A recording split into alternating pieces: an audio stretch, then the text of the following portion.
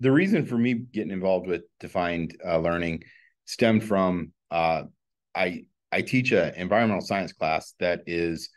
taken by most students as their third year of science in high school, uh, where they need that third year to graduate, but maybe they didn't want to take chemistry or, or they're not necessarily thinking uh, four year post secondary or something like that. So, what I ended up with in that class was a wide range of students. I had students that just wanted to be there because they needed their third year of science all the way up to the students that were really interested in environmental science and took the class because uh, they they wanted to be there um, based on the curriculum.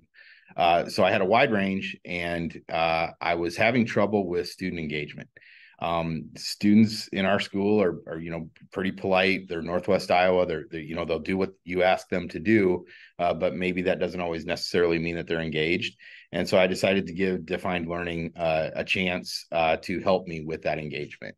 Uh, some of the things that I started seeing right away is some of those kids that were just taking it as a third year of science uh, were jumping into these projects because we were talking about uh, using a bunch of two by sixes to build some raised bed gardens. Well, now they're interested because they're spending part of their day down in the shop where they'd rather be than my classroom, anyways. And now they're going to take some of that and bring it into um, my classroom and talk about something that's quote unquote science related. Uh, so I think that with the dif- different um, projects that you have available to you, uh, the resources in defined uh, learning can help get some of those kids who maybe weren't engaged all of a sudden interested in the project.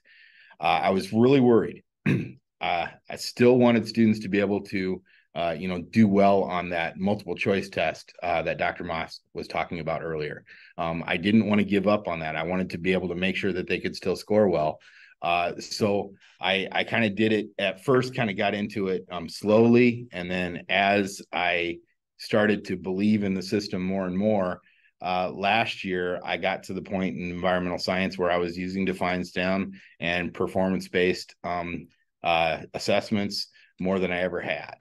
Uh, I got really, really curious as to okay, it, are they still scoring as well as I think they're scoring? And so I decided to give them the ultimate test. Um, last year, at the end of the year, I also teach AP Environmental Science as well. Uh, I decided to take one of those AP um, practice exams from one of those five steps to getting a five on the exam, and I gave it to my regular environmental science class at the end of the year and i ended up having something like like 32% of them actually would have scored a three on the exam um, had they sat for the exam last may and so i think um, at that point there was no denying it uh, if you get the kids engaged they're going to um,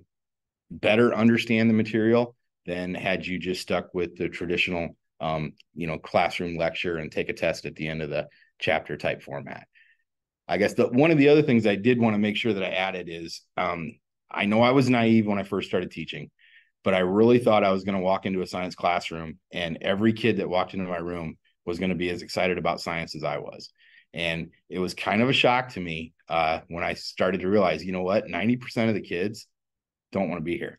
And they not only don't want to be here, they're not going to do this at the next level like I did. And so I had to figure out a way to get it, get that information applicable to their lives as well as that say 10% that wanted to go on and major in science and i think project based learning and defined learning that can actually help you do that with that other 90% of the kids